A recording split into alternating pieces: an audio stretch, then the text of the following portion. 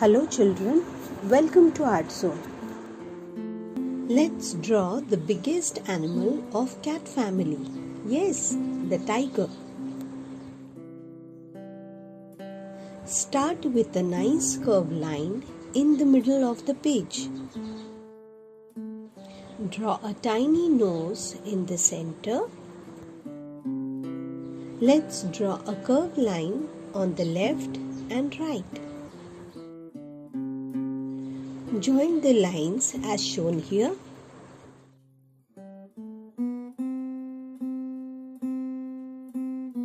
Let's make a nice curved line here. Add a cute little smile and mouth.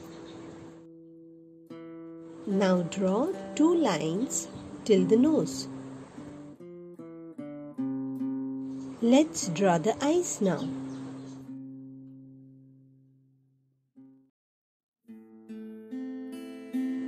Read in a book that tigers are good swimmers and can swim up to 6 kilometers. Let's add stripes on the face. Do you know tigers have more than 100 stripes? Their stripes are much like a fingerprint because no two tigers are exactly alike. Let's add the ears now.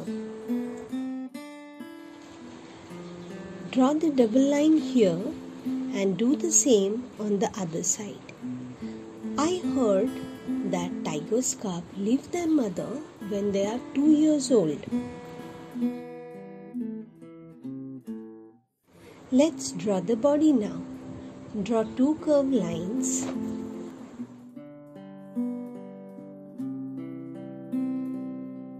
Add one more line, maintain the distance and draw the paw as shown here.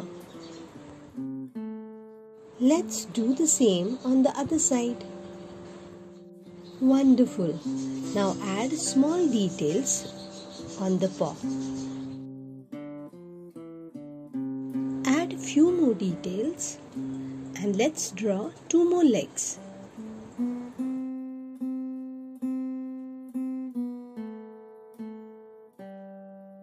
Do the same on the other side.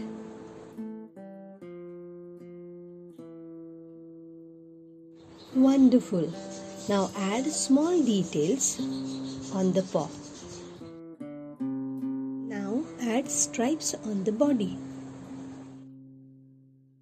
Do you know there are subspecies of tigers? And they are Sumatra tiger, Siberian tiger, Bengal tiger, South China tiger, and few more subspecies.